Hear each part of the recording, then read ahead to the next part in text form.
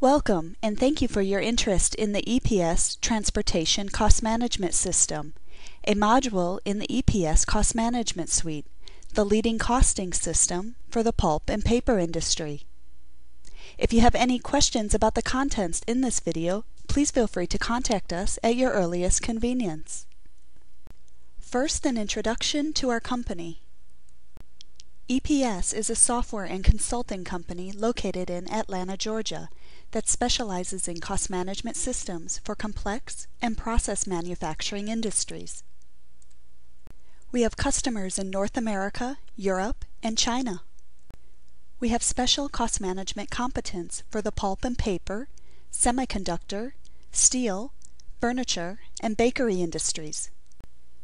Our customers include well-known pulp and paper companies like SCA, UPM Kymmene, Boise, Mondi, and many more.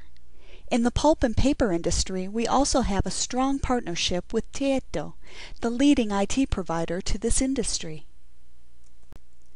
The EPS Cost Management Suite is designed for the pulp and paper industry and is made up of three modules EPS Real Time Costing, EPS Product Cost Management, and EPS Transportation Cost Management. Customers can decide to implement one, two, or all of these modules based on their needs. Here follows a high-level description of the EPS Transportation Cost Management System. The EPS Transportation Cost Management System explains logistic cost as variances between the actual cost and a benchmark, which could be the budget or prior period costs. The variances are grouped into categories like volume variance, customer mix variance, distribution mix variance, and carrier charge variances, reflecting key cost drivers like routes, modes, carriers, customer locations, and product mixes.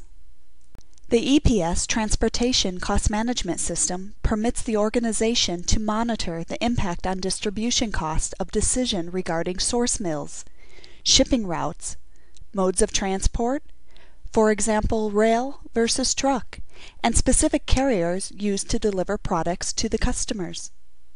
The ability to express managerial decisions in financial terms creates a company-wide awareness of cost behavior and sensitivities, allowing a superior cost control and increased distribution network efficiencies. A continuous variance analysis cycle results in improvements to the detail and accuracy of distribution budgets and sets more realistic expectations of future transportation expenses.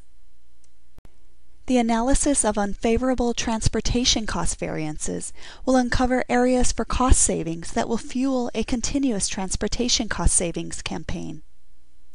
Structurally, the module consists of two main components. The planned transportation cost, which is the benchmark, and the actual transportation cost. A detailed transportation budget is one type of benchmark, in which case a sales forecast is applied to a predetermined set of shipping patterns to arrive at a planned shipment, which then are costed by budgeted transportation rates. Actual transportation costs from prior periods is the other type of benchmark. The benchmark needs to have the same level of detail as the actual side of the module. Transportation cost variances are calculated by transport dimension, keeping all other things equal. The following graph is an example of variance analysis reporting supported by the EPS Transportation Cost Management module. To the left, we can see a blue column representing a planned transportation cost of $102.59 per metric ton. To the right, we can see another blue column, which represents an actual transportation cost for the period at $102.99 per ton. The difference between the two is explained by a series of red, unfavorable, and green, favorable, bars that correspond to individual variance categories. Although the difference between the plan and the actual is seemingly insignificant, the analysis identifies the following opportunities for cost reduction. Unfavorable freight rate, mode, customer mix, first leg freight rate, storage and handling, and other shipping expense variances represent a potential cost reduction opportunity of 3.67 per metric ton.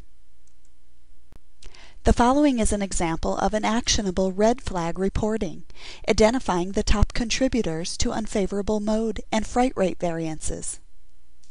Customer A, located in New York, is a top contributor to the unfavorable mode variance. Shipping to this customer resulted in a $36.6 thousand cost overrun. The overrun was caused by a suboptimal use of the preferred mode, rail. As shown in the report, only 50% of the actual shipped volume was shipped by rail versus 95% planned. For an unfavorable freight rate variance, the top contributor had a cost overrun of $30.8 thousand. This was caused by a significantly higher actual rate of $120 per shipped metric ton versus $98 planned.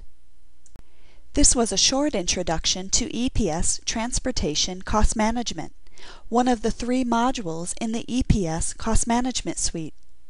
We hope that you have found this presentation interesting and useful. If you have any questions about the contents in this video, please feel free to contact us at your earliest convenience. Goodbye and thank you for your interest in EPS Transportation Cost Management a module in the EPS Cost Management Suite, the leading costing system for the pulp and paper industry.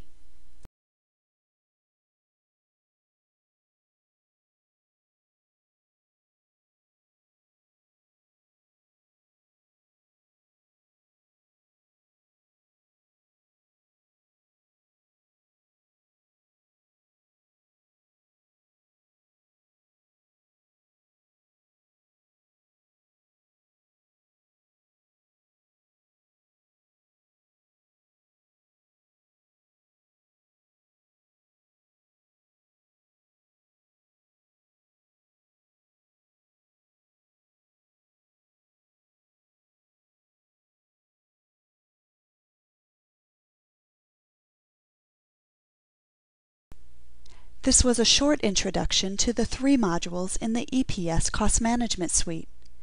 We hope that you have found this presentation interesting and useful. If you have any questions about the contents on this video, please feel free to contact us at your earliest convenience. Goodbye and thank you for your interest in the EPS Cost Management Suite, the leading costing system for the pulp and paper industry.